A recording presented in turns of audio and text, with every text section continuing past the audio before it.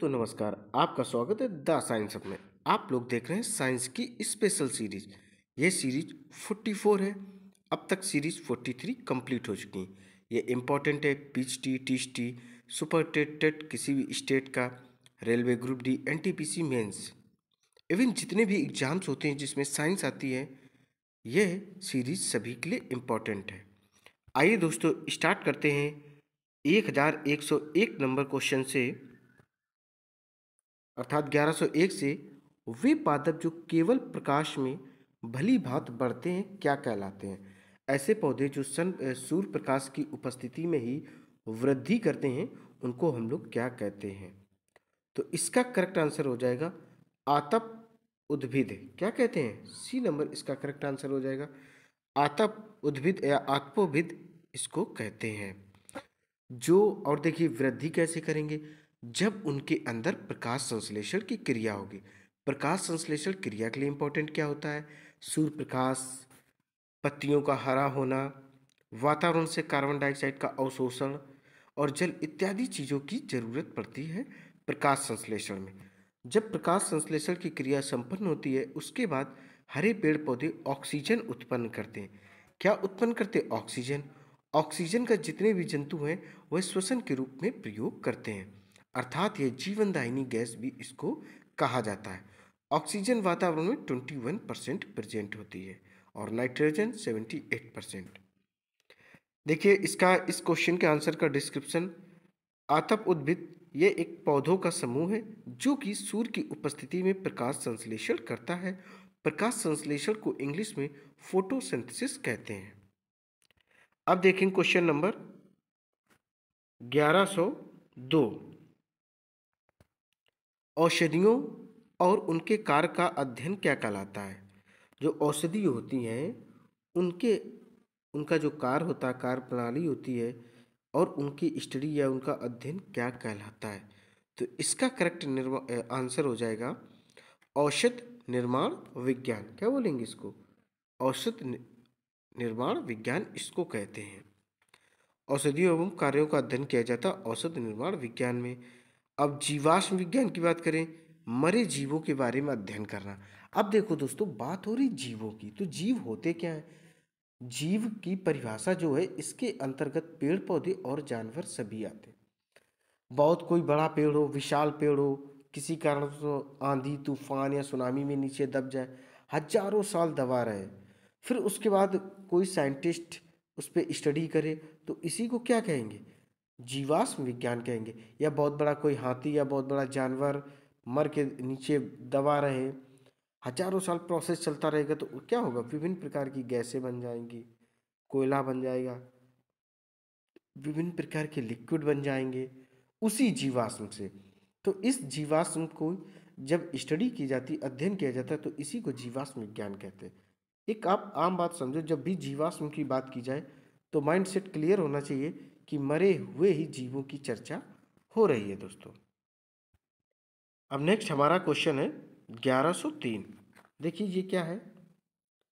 निम्नलिखित में से कौन सा एक स्थानीय संवेदना हारी भी है और उत्तेजक भी है? तो इसका जो करेक्ट आंसर हो जाएगा हीरोइन हीरोइन इसका कई प्रकार के निवारक के दवा के रूप में भी उपयोग किया जाता है, यह एक उत्तेजक भी है। हीरोइन क्या है? आपने अब तक पढ़ा होगा हीरोइन एक मादक पदार्थ होता है, जैसे चरस, गांजा, अफीम होता है। इसी तरीके की हीरोइन भी होती है। बट क्या है, ये दर्द निवारक दवा के रूप में भी कार्य करती और जब इसका जनरली लोग उपयोग करने लगते हैं, अपने शौक के लिए तो यह उत्तेजक का भी कार्य करता है और इसे मादक पदार्थ की श्रेणी में भी रखा जाता है। इसीलिए इसे कहा जाता है कि यह संवेदनहारी भी है और उत्तेजक भी होता है। अब क्वेश्चन है ग्यारह सौ चार। पोषवाह जिसको फ्लोयम दूसरा नाम है फ्लोयम का दूसरा नाम क्या? पोषवाह तो यह क्या है? यह एक बास्ट है। क्या होता है? जो फ्लोयम होता है ये एक बास्ट है। अब आप समझो फ्लोयम होता क्या है। जब पेड़ पौधे प्रकाश संश्लेषण के दौरान अपने भोजन का निर्माण करते, उस भोजन को पेड़ पौधों की विभिन्न शाखाओं तक पहुँचाने का कार्य फ्लोयम करता या पोषवाहक करता है। अब बात होती है, यह हो गया फ्लोएम। अब जाइलम क्या काम करता है? जाइलम भूमि के नीचे से खनिज लवण और जल को क्या करता है? ऊपर लाता है, जिससे पेड़ पौधे को जल और खनिज लवण पर्याप्त मात्रा में मिलते हैं। अब क्वेश्चन नंबर देखेंगे, ग्यारह सौ पाँच। सामान्य ब्रेड, जिसे रोटी भी कहते गेहूँ टुटकम एस्टाइवम है। तो यह क्या है? यह सट गुणित रोग है। क्या है? ये एक प्रकार का दोस्तों, रोग होता है। सट गुणित का मतलब होता है छः से मल्टीप्लाई करना। इसको हम लोग सिक्स एन भी लिख सकते हैं। देखिए, जैसा कि इस क्वेश्चन के आंसर में, के डिस्क्रिप्शन में आप देख पा रहे हो षट गुणित होता है।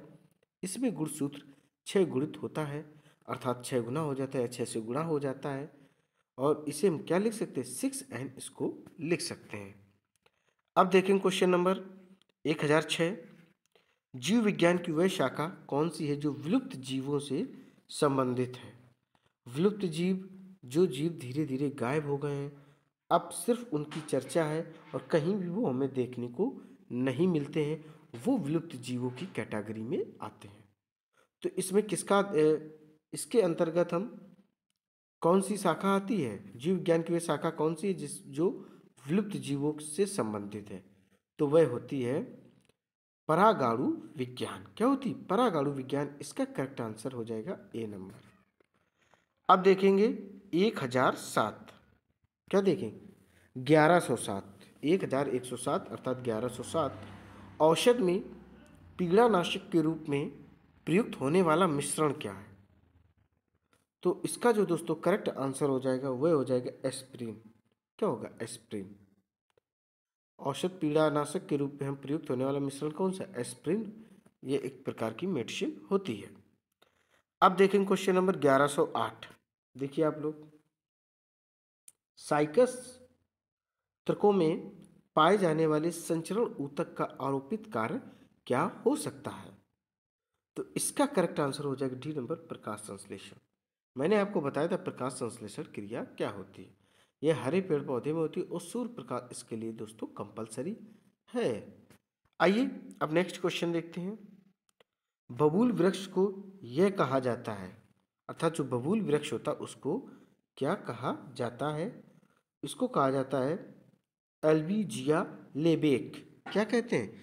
एल्बीजिया लेबेक को बबूल का ये जैविक नाम होता है, ये जुलोस्कल नेम जुलोस्कल नहीं, इसका बॉटनिकल नेम इसको कह सकते हैं, या साइंटिफिक नेम कहते हैं। बबूल क्या होता है? इसमें भी दो वैरायटी पाई जाती देसी और विदेशी। और देसी बबूल होता है, एक विदेशी बबूल होता है, और इनमें दोनों की पहचान आप लोग खुद कर सकते हैं। अब क्वेश्चन देखेंगे 1110 निम्नलिखित में से कौन सा हरित दूषावास की गुणवत्ता का एक घटक नहीं है? तो इसका जो करेक्ट आंसर हो जाएगा, वह हो जाएगा बी नंबर छत पर सौर पैनलों का संसाधन। और सौर पैनल करते क्या है? जो सूर्य प्रकाश मिलता है, उन सौर पैनल को वो परिवर्तित करते हैं विभिन्न प्रकार की ऊर्जा में, और वह विभिन्न प्रकार की ऊर्जा का उपयोग हम लोग अपने सुविधा अनुसार उपयोग करते हैं। तो इसका करेक्ट आंसर क्या हो जाएगा? बी नंबर सौर पैनल प्रदूषित रहित हैं। इस कारण क्या है? यह हरित दूषावास नहीं होते हैं, अर्थात इनके घटक नहीं होते। जो सौर पैनल होते सौर प्रकाश होता वह किसी भी प्रकार का कोई भी प्रदूषण उत्पन्न नहीं करता। ऐसे आप जनरली लाइट देखना चाहें तो जनरल लाइट आप जिसका उपयोग घर पर करते ये कोयले से तैयार की जाती है। पानी से की जाती तो सो बेटर बट लेकिन अगर कोयले से की जा रही, बहुत सारे क्षेत्र में कोयले से की जा रही है तो कोयले से क्या जब बनाया जाएगा लाइट को तो क्या होगा? विभिन्न प्रकार के प्रदूषण होंगे जो हेल्थ के लिए बहुत ज़्यादा नुकसानदेह होते हैं। तो सौर जो प्रकाश है, सौर पैनल है किसी भी प्रकार का कोई भी प्रदूषण नहीं करते हैं। अब देखेंगे क्वेश्चन नंबर।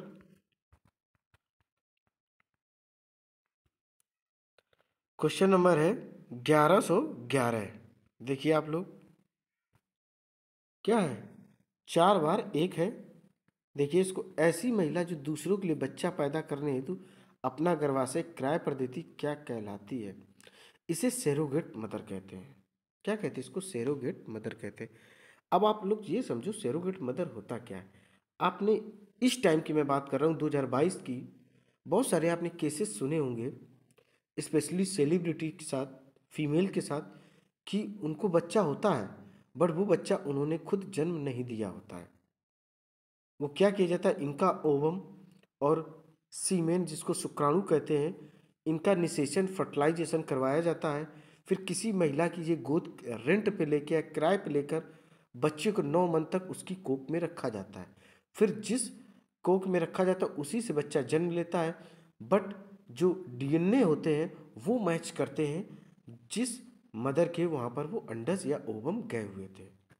तो ये आप सेरोगेट आपने सुना होगा टेस्ट ट्यूब बेबी के बारे में सुना होगा। तो टेस्ट ट्यूब बेबी सेम होता है और सेरोगेट भी सेम होता है। जो मदर, जो महिला अपनी को किराए पर देती है, उसको सेरोगेट मदर कहते हैं। जो बच्चा उससे होता है, उसे टेस्ट ट्यूब बेबी भी कहते हैं। तो अब आप लोग दोस्तों समझ गए होंगे। अब देखें क्वेश्चन नंबर ग्यारह सौ बारह कौन सा? ग्यारह सौ बारह जीवाणु भोजी किसके द्वारा खोजा गया था? तो इसका करेक्ट आंसर हो जाएगा सी नंबर पॉल एहरलिस क्या बोलते हैं इसको? पॉल एहरलिच इनका नाम है। ये एक साइंटिस्ट है, इन्होंने जीवाणु भोजी को खोजा था। अब देखें क्वेश्चन नंबर ग्यारह सौ तेरह। देखिए, इसमें क्या दिया गया है? जीन युग्मों में नहीं पाए जाते हैं। इसका करेक्ट आंसर हो जाएगा सी नंबर युग्मकों में। किसमें? युग्मकों में। देखिए, युग्मक निर्माण के दौरान अर्धसूत्री कोश का विभाजन होता है, जिसके कारण प्रत्येक जीव एक दूसरे से अलग हो जाता और युग में नहीं पाया जाता अब देखेंगे नेक्स्ट क्वेश्चन ग्यारह से चौदह। कौन सा ग्यारह से चौदह क्वेश्चन है। ऊतक जन, जिसके बाहर त्वचा बनती है, वह क्या है? क्वेश्चन नंबर है अपना, यही वाला। इसका करेक्ट आंसर ए नंबर हो जाएगा, त्वचा जन, ऊतक जन, जिसके कारण बाहर त्वचा का या बाहरी त्वचा का निर्माण होता है, उसे क्या कहा जाता है? वह त्वचा जन का समूह होता है। हर जंतु में बाहरी त्वचा होती है, जिसको इंग्लिश में स्किन भी कहते हैं। तो त्वचा जन वह समूह है जिसके ऊतक जन द्वारा बाहर बनता है। अब देखें क्वेश्चन नंबर हम लोग। रक्त समूह की खोज किसके द्वारा की गई थी? तो रक्त समूह की बात हो रही है। रक्त समूह को इंग्लिश में क्या कहते हैं? ब्लड ग्रुप कहते हैं। क्या कहते हैं? ब्लड ग्रुप कहते हैं। और कितने ब्लड ग्रुप होते हैं? ए, बी ए, बी और ओ। चार प्रकार के दोस्तों ब्लड ग्रुप होते हैं। और इसकी खोज किसने की थी? लैंड स्टीनर ने। और कब की थी? 1900 में। 1900 में इन्होंने खोज की थी। अब जब आप ये पढ़ रहे हैं तो आप ये भी चीज़ जान लें, जो रक्त पर संचरण है, जिसको इंग्लिश में ब्लड सर्कुलेशन कहते हैं, उसकी खोज विलियम हार्वे ने की थी। किसने की थी? विलियम हार्वे ने 1628 में रक्त पर संचरण की खोज की थी और लैंड स्टीनर ने रक्त समूह की खोज 1900 में की थी। दोस्तों, बात की जाए जो रक्त है, वह रेड किसकी वजह से होता? हीमोग्लोबिन की वजह से होता है। रक्त में क्या क्या पाया जाता है? आरबीसी डब्ल्यूबीसी और प्लाज्मा या प्लेटलेट्स भी पाए जाते हैं। आरबीसी मतलब रेड ब्लड कार्सल्स लाल रुधिर कणकाएँ इनका जीवन काल लगभग 120 दिन होता डब्ल्यूबीसी व्हाइट ब्लड सेल्स या श्वेत रुधिर कणकाएँ ये प्रतिरोधक क्षमता का निर्माण करती हैं। अब आप समझें प्रतिरोधक क्षमता क्या होती है। जब आप पर कोई व्यक्ति अटैक करता है तो आप अपने बचाव के लिए अपने हाथ पैर हाथों को क्या करते हैं? आगे कर देते हैं। तो इसी तरीके से जब भी कोई डिज़ीज़ आपकी बॉडी के अंदर एंट्री करती है तो वाइट ब्लड कार्पल्स अर्थात श्वेत रुधिर कणिका ही उससे फाइट करने में हेल्प करते हैं। तो रक्त समूह की खोज लैंडस्टीनर रक्त पर संचरण की विलियम हार्वे अब देखेंगे हम लोग क्वेश्चन नंबर कौन सा? 1116 वृक के आकार की द्वार कोशिकाएँ किसमें होती हैं? तो इसका करेक्ट आंसर हो जाएगा। पहले आप क्वेश्चन देख लें। इसका करेक्ट आंसर हो जाएगा द्विबीज पादपों में और एक बीज पादपों में। अब द्विबीज पादपों और एक बीज। अब इसी जगह होता कि दो बीज पत्री या दो बीज एक बीज पत्री। तो दो बीज के अंतर्गत का मतलब ऐसे बीज जिनको हम आराम से दो भागों में डिवाइड कर सकें या विभाजित कर सकें, वह द्विबीज पादपों या द्विबीज पत्री या बीज के अंतर्गत आते हैं। द्विबीज का कॉन्सेप्ट ही है कि हम उसके बीज को आराम से, प्राकृतिक रूप से ही वो दो भागों में डिवाइड हो, जैसे चना। अब एक बीज की देखिए तो एक बीज में क्या होता है? ऐसे बीज जिनको हम प्राकृतिक रूप से अलग ना पाते हो उनके बीजों को। जैसे आप गेहूँ देख सकते हैं। गेहूँ को आगे का हिस्सा तो लगता है गेहूँ के बीज का। कि ये अलग है बट पीछे का हिस्सा देखिए, वो ज्वाइंट होता है। तो एक बीज पात्रों को एग्ज़ाम्पल में देखना चाहे, एक बीज पत्रों या पौधों के रूप में देखना चाहे तो आप एग्ज़ाम्पल गेहूँ ले सकते हैं। दो बीज में देखना चाहें तो आप चना देख सकते हैं। एक बीज को मोनोकॉट और द्वि बीज को डाइकॉट कहते हैं। देखिए, इसके जो आंसर करेक्ट आंसर है, वो सी, उपयुक्त दोनों। क्या है? उपयुक्त दोनों। रहर एक बीज पत्ती और दो बीज पत्री दोनों में पाया जाता और रहर को नियंत्रित करने के लिए कोशिका पाई जाती। उसे रक्षी कोशिका कहते हैं, जिसका आकार वृक के आकार का होता है। वृक अर्थात जिसको इंग्लिश में किडनी कहते हैं और यह मनुष्य में संख्या में दो और जोड़ी में एक पाई जाती है। इसका आकार क्या होता है? वृक का। फिल्ट्रेशन का आकार होता है। अब देखें क्वेश्चन नंबर ग्यारह सौ सत्रह। डमलेकार द्वार कोशिकाएँ किसमें होती हैं? तो डमलेकार जो होती हैं, वह होती मूंगफली में। किसमें होती मूंगफली में। अब आप समझिए, मूंगफली में बहुत अधिक मात्रा में प्रोटीन पाई जाती और प्रोटीन का कार्य क्या होता हमारे शरीर में? यह हमारे शरीर को क्या मसल्स गेन या शरीर की मेंटेनिंग, बॉडी मेंटेनिंग के लिए प्रोटीन बहुत इंपॉर्टेंट होता अर्थात नई कोशिकाओं के निर्माण के लिए प्रोटीन अति महत्वपूर्ण होता है। अब देखेंगे नेक्स्ट क्वेश्चन एक हज़ार अठारह, क्या है? एक हज़ार अठारह देखेंगे हम लोग, क्या क्वेश्चन दिया गया है? रंध्र मुख द्वार इस पर आधारित है। किस पर आधारित है? अंता परासरण पर अंता परासरण पर। देखिए इसका डिस्क्रिप्शन जब जल रक्षी कोशिका में प्रवेश करता है तो प्रेशर में वृद्धि होने के कारण रंध्र खुल जाता है। थापने अंता परासरण तो इसमें आंसर क्या हो जाएगा? बी नंबर करेक्ट सही, अंता परासरण अब देखेंगे क्वेश्चन नंबर हम लोग। एक हज़ार उन्नीस। देखिए, एक हज़ार उन्नीस, ग्यारह सौ उन्नीस, सॉरी, ग्यारह सौ उन्नीस है। कौन सी गैस पादप ग्रह प्रभाव, जिसको इंग्लिश में ग्रीन हाउस इफ़ेक्ट कहते हैं, के लिए मुख्य रूप से उत्तरदायी? तो एक ही गैस है सी ओ टू क्या? सी ओ टू जो सी ओ टू है, ये अगर आपसे पूछा जाए, ठोस रूप में कब संचित होती तो यह बर्फ़ के रूप में संचित होती है। तो ये सी ओ टू है यह ग्रीन हाउस इफ़ेक्ट के लिए मुख्य रूप से इंपॉर्टेंट या उत्तरदायी रिस्पॉन्सिबल गैस होती है। ग्रीन हाउस में सी ओ टू जिसको कार्बन डाइऑक्साइड कहते हैं, का उपयोग होता है, जो इसे सूर्य की किरणों में प्राप्त होता है और इसे ध्रुवी खेती के नाम से जाना जाता है। ठंडे प्रदेशों में इसका उपयोग होता है। जलवाष्प जल को 100 सेल्सियस पर उबालने से भाप में परिवर्तित होता, उसे जलवाष्प कहा जाता। जब पानी ज़ीरो सेल्सियस पर जम जाता है तो इसे उसका फ्रीजिंग पॉइंट कहा जाता है। अब देखें क्वेश्चन नंबर 1120 पौधे की विशिष्ट रूप में विकास को प्रभावित करने वाली स्थितियों का नाम बताइए। तो यहाँ पर दोस्तों, करने वाली है हाँ। तो वह कौन सी है? तो इसका करेक्ट आंसर हो जाएगा पर्यावरणीय स्थिति। जो आसपास की वातावरण की स्थितियाँ होती हैं, वही पौधे के विशिष्ट रूप में विकास को प्रभावित करने वाली स्थितियाँ होती जैसे, आप मरुस्थल के किसी पौधे को देख लें तो क्या वह दस मीटर, बीस मीटर क्या ऊंचाई वाला हो सकता है? मुश्किल है, क्योंकि रेत वाले एरिया में ज़ीरो फाइट्स टाइप के प्लांट्स पाए जाते हैं। ज़ीरो फाइट्स का मतलब होता है, जिनमें जो पत्तियाँ वह कांटे के रूप में सुरक्षित होती जैसे कैक्टस। नागफनी का पौधा एक ऐसा पौधा है जो रेतीले इलाकों में, जहाँ पर बालू पाई जाती है, वहाँ पर पाया जाता है। तो पौधे का कोई भी विकास हो रहा तो उसकी कौन सी स्थितियाँ रिस्पॉन्सिबल होंगी? वह होंगी पर्यावरणीय स्थितियाँ। अब जैसे विश्वत रेखा के पास जो जंगल होते हैं, उनकी विशेषता होती है कि उनमें बहुत सारी प्रजातियाँ पाई जाती या एक शब्द कहें कि उनमें जैव विविधता पाई जाती जैव विविधता को इंग्लिश में बायोडाइवर्सिटी कहते हैं।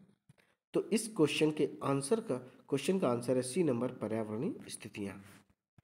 अब देखेंगे 1121 देखिए, अग्नाशय कौन सा रस निःसृत करता है अर्थात निकालता है? तो इसका करेक्ट आंसर हो जाएगा इंसुलिन और पाचक। कौन सा? इंसुलिन और पाचक रस यह रिलीज़ करता है। अब देखो, एक हज़ार ग्यारह सौ बाईस, जब हम छुई मुई के पौधे को क्या करते हैं? टच करते हैं कि पत्तियों को छूते तो पत्तियाँ बंद हो जाती, इस गति को क्या कहते हैं? तो इसको रसायन अनुकंपी गति कहते हैं। क्या कहते हैं? रसायन अनुकंपी गति कहते हैं। और जब हम छुई मुई को इंग्लिश में क्या कहते हैं? Touch me not plant. क्या कहते हैं? टच मी नॉट प्लांट कहते हैं। एक ऐसा भी प्लांट होता है जो बंद करके कीड़ों का क्या है? कीड़ों के शरीर का रस चूस लेता है। उसे पिचर प्लांट या हिंदी में घटपर्णी प्लांट या पौधा कहा जाता है। तो यहाँ बात हो रही छुमई का जो पौधा है, जब हम उंगली लगाते तो वह क्यों सिकुड़ जाता है? तो इस प्रोसेस को क्या कहते हैं? रसायन अनुकंपी गति कहते हैं। अब देखें क्वेश्चन नंबर हम लोग क्या? क्वेश्चन नंबर देखिए। एक हज़ार तेईस। ऊतक संवर्धन की अवधारणा किसकी थी? तो इसका करेक्ट आंसर हो जाएगा हाफ़ मीटर जो हाफ़ मीटर साइंटिस्ट थे, उन्हीं की, इनको हाफ़ मीटर नहीं हाफ़ मिस्टर भी कहते हो, कहीं कहीं पर आप इनको हाफ़ मीटर लिखा हुआ भी देखेंगे। बट आपका जो पॉइंट ऑफ़ व्यू है, वह क्लियर रहना चाहिए कि इसका जो करेक्ट आंसर होगा हाफ़ मिस्टर ही होता है। इन्होंने ऊतक संवर्धन की जो कॉन्सेप्ट था, उसको ही इन्होंने प्रजेंट किया था। अब देखें क्वेश्चन नंबर एक हज़ार चौबीस। देखिए, चोच किससे बनती है? तो चोच किससे बनती है? दांतों से बनती है। चोच पाई किसमें जाती पक्षियों में पाई जाती है। अब देखें क्वेश्चन नंबर 1125 पिन्ना या कर्णपाली एवं बाहाश्रवण नली। तो ये दोस्तों बात हो रही है किसकी? ये कानों की विशेषता का, कानों के बारे में बताया जा रहा। है तो ये किसमें पाई जाती है? तो ये स्तनपाई में पाई जाती इसका करेक्ट आंसर सी हो जाए। स्तनपाई के अंतर्गत वह जंतु आते हैं जो बच्चों को दुग्ध उत्पादन कराते हैं, अर्थात दूध पिलाते हैं और बच्चों को जन्म भी देते हैं। वह सारे के सारे स्तनपाई या स्तनधारी जीव की कैटेगरी में आते हैं और इनमें पिन्ना या कर्णपाली एवं बासरवणी नली पाई जाती है। जैसा कि आपने कान का कहीं ना कहीं चित्र देखा होगा दोस्तों। तो उसी की बात हो रही और मनुष्य भी स्तनधारी या स्तनपाई जंतु के अंतर्गत ही आता है। दोस्तों, ये सीरीज़ यहीं पर कंप्लीट होती है। उम्मीद है ये सीरीज़ आपको बेहद पसंद आई होगी। इसी तरीके की ज़बरदस्त सीरीज़ आपको कंटिन्यू मिलती रहेगी। आपको करना क्या है? इस सीरीज़ को अधिक से अधिक लाइक करना, शेयर करना और मेरे चैनल को सब्सक्राइब करना है। मेरे चैनल को क्या करना? दोस्तों, अधिक से अधिक सब्सक्राइब करो और शेयर करो, ताकि मैं आपको टाइम से लगातार सीरीज़ अवेलेबल करवाता रहूँ। दोस्तों, जय हिंद, जय भारत।